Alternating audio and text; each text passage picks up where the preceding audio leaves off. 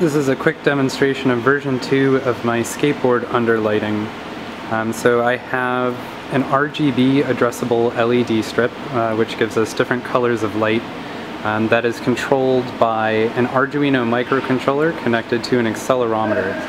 Um, so that allows us to change the color of the lights either based on the skateboard's orientation um, or the acceleration in the forward dimension and things like that.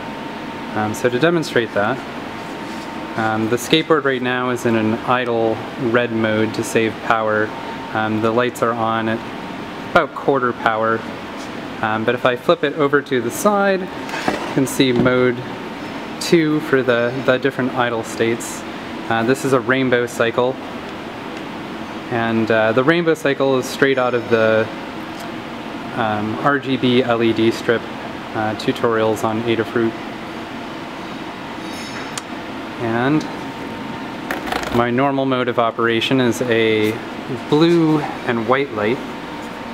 Zoom in here. As I accelerate in the forward dimension, the lights will change closer to a white.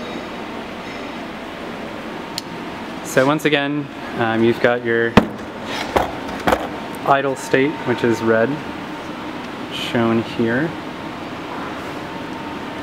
got the skateboard on its side in the rainbow pattern. And the normal mode of operation again is blue and white. So still working on the code. Uh, zoom in here quickly on the, the battery pack. This is driven by four AAA batteries.